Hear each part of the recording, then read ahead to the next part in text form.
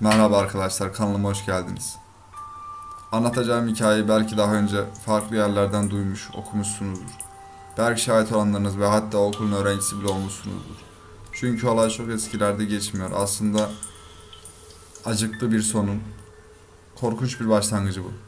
1990 yılında Trabzon'da yaşayan Ayşe adında genç bir kız yaşarmış. Nişanlısını çok seven, çok güzel, alımlı, tertemiz, evlilik hayal olan genç bir kız. 19 yaşındayken sevdiğini askere yollamış. O ve ailesi fakir olduğu için okulda hademe olarak çalışmaya başlamış. Çok güzel olan Ayşe müdürün dikkatini çekmiş. Şerefsiz okul müdürü Ayşe kıza göz dikmiş. Bir gün Ayşe fazladan iş vererek erkenden eve gitmesini engellemiş. Mesaiye kalmak zorunda olan Ayşe şerefsiz müdürün tecavüzüne uğramış. Daha sonra kız utancından kimseye bunu söyleyememiş. Sevgilisinin yüzüne nasıl bakacağını kara kara düşünen gencecik bir kız. Daha sonra işin içinden çıkamamış ve intihar etmiş. İşin acıklı tarafı böyle bitmiş ama her şey aslında bundan sonra başlamış. Ayşe'nin annesi intihar eden kızının ardından bıraktığı mektubu okumuş.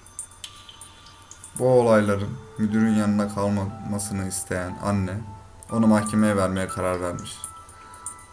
Fakat müdürün mahkemeden ceza almadan kurtulacağını düşünen anne ona büyü yaptırmaya karar vermiş. Büyü yaptırdıktan sonra ise korkunç şeyler olmaya başlamış. Okulun öğrencileri her yerde ölen kız Ayşe'nin hayalini görmeye başlamışlar.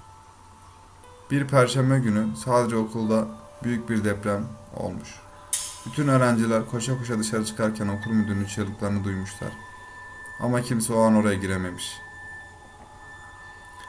Okuldan bir öğretmen gördüğüne göre okul müdürü duvardan duvara başını vuruyormuş. Çığlıklar artarak deprem bittikten sonra okul müdürünün odasına girmişler ve korkunç bir manzara ile karşılaşmışlar. Okul müdürünün kafası neredeyse kopmuş, kanlar içinde yerde yatıyormuş. Okulun hiçbir yerinde çatlak yokken okul müdürünün odasında duvarlar çatlak içindeymiş. İddiaya göre Ayşe'nin ruhu intikamını almış. Bu olaydan sonra okul kapanmış. Ondan sonra bu olayı duyan ve oraya kimse gitmemiş.